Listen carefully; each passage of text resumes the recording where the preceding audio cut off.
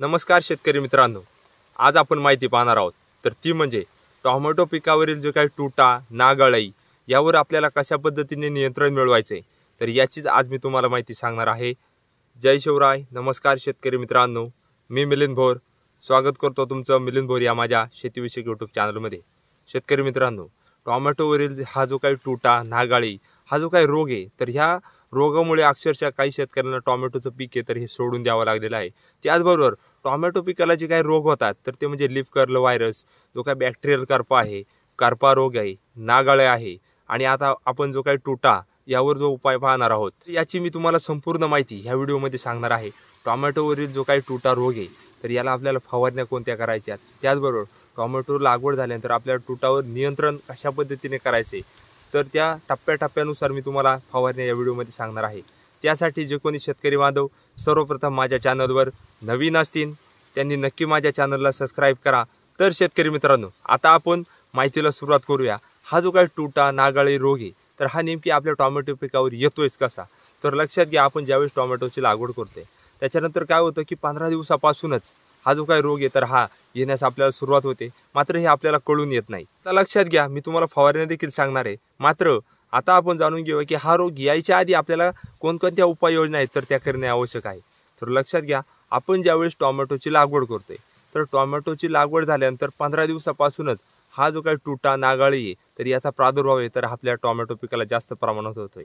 तर अशा वेळेस काय करायचे ज्यावेळेस आपण टोमॅटोची लागवड करायची तर त्यावेळेस जो काही टोमॅटोचा प्लॉट आहे तर ह्या चारही बाजूनी प्लॉटला जी काही आफ्रिकन टॉल मका आहे म्हणजे जी उंच मका आहे तर याची दाट स्वरूपात लागवड करायची आहे. जेणेकरून काय होईल जे काही पांढरी माशी जे थ्रिप्स आहे तर ही किडे आहेत जे पतंग आहेत तर ते आपल्या प्लॉटमध्ये एंटर करणार नाहीत. त्याला तिथेच आळा बसेल. त्याच्यानंतर आपल्याला जे काही चिगट पिवळे सापळे तर हे देखील त्यामध्ये लावणे आवश्यक आहे. शेतकरी मित्रांनो टॉमॅटो पिकावरील जी काही तुटा नागाळी आहे तर हा जो काही रोग आहे तर हा आपल्याला कशा पद्धतीने ओळखायचा आहे तर लक्षात घ्या त्यावेळेस आपण टोमॅटोच्या प्लॉटमध्ये जातोय तर टोमॅटोचं एक पान खुडून घ्यायचं आपल्याला त्यावर जे काही सफेद सफेद आहे तर अशा रेषा दिसणार आहेत तुम्हाला. त्याचबरोबर पानांवर आहे तर हे टिपके दिसणार आहे त्याच्यानंतर जे काही आपलं टोमॅटोचं फळ आहे तर यामध्ये देखील छिद्र झालेलं असतं. एकदम सुईसारखं छोटं छिद्र असतं. आणि त्यामध्ये जी काही तुटाळी आहे एकदम सूक्ष्म एकदम छोटी आळी राहते. तिचं तोंड आहे पुढं तर ते काळं तोंड राहत आहे त्याचबरोबर टोमॅटो पिकाला असे बरेचसे होल दिसत आहेत आपल्याला.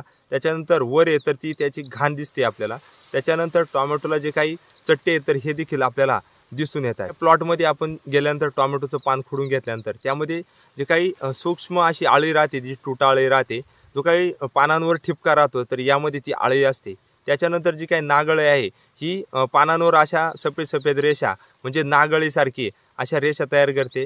पानांमधलं जे काही अन्नद्रव्य आहे तर हे खाऊन घेण्याचं काम करत आहे आणि जो काही तुटाळी आहे तर ही तुटाळी आहे तर ती एकाच जागी आपल्या टोमॅटोचं पान आहे तर हे असं कुरतडण्याचं काम करते आणि त्यामधलं अन्नद्रव्य तर ओढून घेते. अशा वेळेस आपल्याला स्टार्टिंगपासून ज्या फवारण्या घ्यायच्यात तर त्या म्हणजे यावेळेस आपलं टोमॅटो पीक दहा ते पंधरा दिवसात होईल तर त्यावेळेस आपल्याला बेनिव आहे तर याची फवारणी करणे आवश्यक आहे. त्याच्यानंतर हा जो काही प्रादुर्भाव जरी थांबला नाही तरी आपल्याला प्लेन स्वरूपामध्ये नीम ऑइल आहे तर याची फवारणी करणे आवश्यक आहे.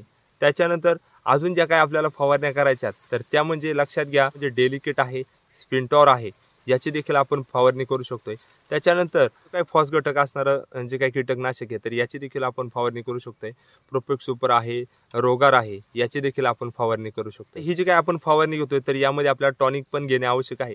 आपण इसाबी येणे तर याचा देखील वापर करू शकतोय. एखादं बुरशीनाशक आहे हे देखील आपल्याला यामध्ये घेणे आवश्यक आहे. ते बुरशीनाशक म्हणजे आपण अँट्रॉकॉल तर हे घेऊ शकतोय. एम पंचाळीस हे देखील घेऊ शकतोय. आता लक्षात घ्या टुटा आणि नागाळीवर आहे हा तर मी तुम्हाला उपाय सांगितला आहे आणि याला जे काय आपल्याला कीटकनाशक आहे बुरशीनाशक आहे त्याचबरोबर टॉनिक आहे तर ही मी तुम्हाला काय घ्यायला सांगतोय?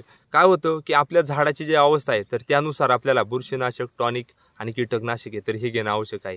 तुम्ही नीम ऑइल आहे त्याचबरोबर स्पिंटोर आहे. डेलिकेट प्लेन स्वरूपात जरी घेतलं तरी याचा आपल्याला शंभर टक्के रिझल्ट येणार आहे. मात्र ह्या ज्या काही आपल्याला फवारण्या करायच्या तर ह्या टप्प्याटप्प्याने फवारण्या करायच्यात आज जर तुम्ही रोगाची फवारणी केली तर तुम्हाला पाचव्या सहाव्या दिवशी डेलिकेटची फवारणी करणे किंवा बेनिव्याची फवारणी करणे त्याचबरोबर आपल्याला स्प्रिंटॉर आहे याची देखील फवारणी करणे आवश्यक आहे. त्याच्यानंतर आपल्याला एम पंचाळीस आहे e इसाबियन आहे त्यामध्ये आपल्याला निमॉयले हे देखील घेऊन आपल्याला याची फवारणी करणे आवश्यक आहे. किंवा आपल्याला जे काय सोलेमॉन आहे हे जरी आपण कीटकनाशक यामध्ये घेऊन फवारणी केली तरी देखील ह्या रोगाचा प्रादुर्भाव आहे तर हा पूर्णपणे नष्ट होणार आहे. तर शेतकरी मित्रांनो बऱ्याच शेतकऱ्यांनी मला व्हिडिओमध्ये कमेंट्स केली आम्हाला टोमॅटो पिकाला जो काही तुटा नागाळीचा प्रादुर्भाव आहे हा जास्त प्रमाणात होतोय. तर अशा वेळेस आम्हाला कोणत्या फवारण्या करणे आवश्यक आहे? तर ह्या मी तुम्हाला रासायनिक फवारण्या सांगितलेल्या आहे जी काय मी तुम्हाला फवारणी सांगितली तर यामध्ये मी कुठल्याही प्रकारची जाहिरात वगैरे करत नाहीये. आणि जर तुम्ही स्टेप बाय स्टेप या फवारण्या केल्या तर तुटा नागाळे यावर शंभर टक्के आपल्याला नियंत्रण मिळेल. शेतकरी बांधवांचा कुठं ना कुठं तरी फायदा होणार आहे. तर शेतकरी मित्रांनो ही जर माझी माहिती तुम्हाला आवडली असेल आणि ज्या शेतकऱ्यांनी अजून देखील माझ्या चॅनलला सबस्क्राईब केलं नसेल त्यांनी नक्की माझ्या चॅनलला सबस्क्राईब करा आणि बेल आयकॉन दाबायला विसरू नका. कारण शेतीविषयक अशाच नवनवीन व्हिडिओ तुम्हाला माझ्या चॅनलवर तरी ह्या बघायला मिळणार आहेत. आणि ही जर माझी व्हिडिओ तुम्हाला आवडली असेल तर नक्कीच व्हिडिओ लाईक करा. चॅनलला सबस्क्राईब तर करायचंच आहे तुम्हाला. त्याचबरोबर ही व्हिडिओ जास्तीत जास्त शेतकऱ्यांपर्यंत पोचवा धन्यवाद. जय जवान. जय किसान.